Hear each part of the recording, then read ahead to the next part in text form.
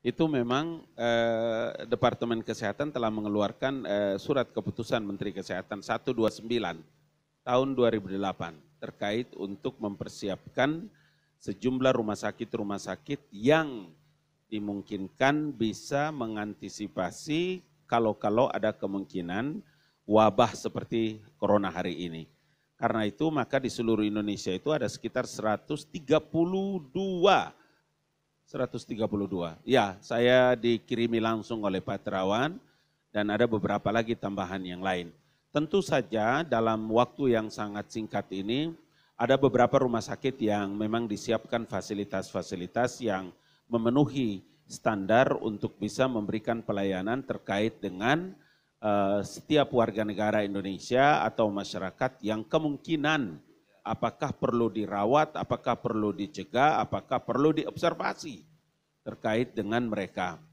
Ah, terkait dengan Pulau Galang ini memang pekan lalu sudah dibicarakan.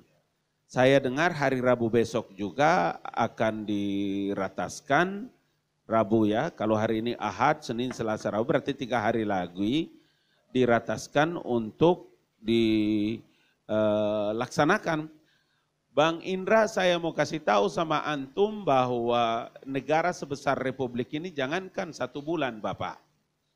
Insya Allah sampai dua tiga minggu itu bisa dilakukan oleh negara. Kenapa? Karena ketika kita menghadapi situasi begini kemudian saya tahu betul beberapa hal. Saya beberapa kali mendampingi Bapak Presiden ke Papua, itu tinggal menunjuk saja jalan itu dan Pak Basuki bekerja dari rumah dengan pakaian itu sampai tidur di Papua, dalam hitungan minggu orang bisa menyelesaikan. Jadi kalau umpama seperti yang sekarang kita hadapi corona ini, saya ber, ingin mengatakan atas nama pemerintah nih, resmi nih pernyataanku ini ya, bahwa pemerintah siap melakukan itu dengan tinggal kita tunggu hari Rabu, hari Rabu itu akan memberikan uh, kejelasan, kepastian terhadap uh, apa yang diperintahkan oleh Bapak Presiden, termasuk tempat salah satu yang diinginkan itu adalah di Pulau Galang itu.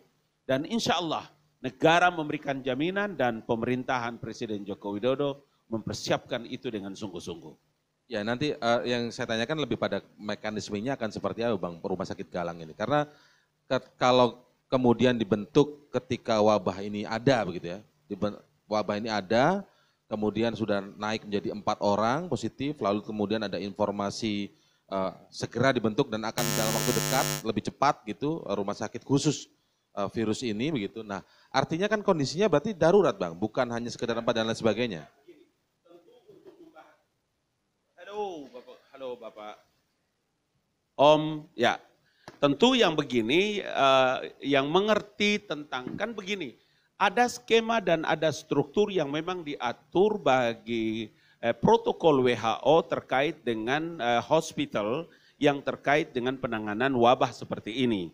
Yang ngerti itu tentu teman-teman dari kantor Departemen Kesehatan.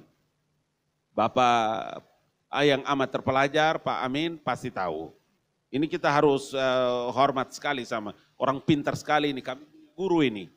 Uh, pasti tahu, tinggal tinggal dikasih tahu tentang karena itu makanya kami berkomunikasi kemarin juga dengan Pak Basuki pada waktu di kantor staf presiden. Yang penting skemanya, tempatnya bagaimana, kemudian ada keputusan presiden terhadap kan kita punya pulau ini kan banyak sekali. Salah satu yang ditunjuk itu adalah Pulau Galang. Kalau-kalau Allah menghendaki baik di situ tempatnya, tinggal dengan skema yang ada, kemudian postur yang ada, dengan protokol bangunan yang ditetapkan oleh WHO, kemudian sarana prasarana, negara akan lakukan itu. Dan itu saya Tapi bukan berarti memang akan dalam waktu dekat ada diperkirakan ada lonjakan uh, apa namanya? Nauzubillah min zalik. Iya. Enggak maksudnya ketika jangan kan begini bertanya, jangan-jangan sudah ada datanya ternyata cukup banyak sehingga memerlukan satu tempat khusus begitu. Ini tidak kan juga, tidak juga.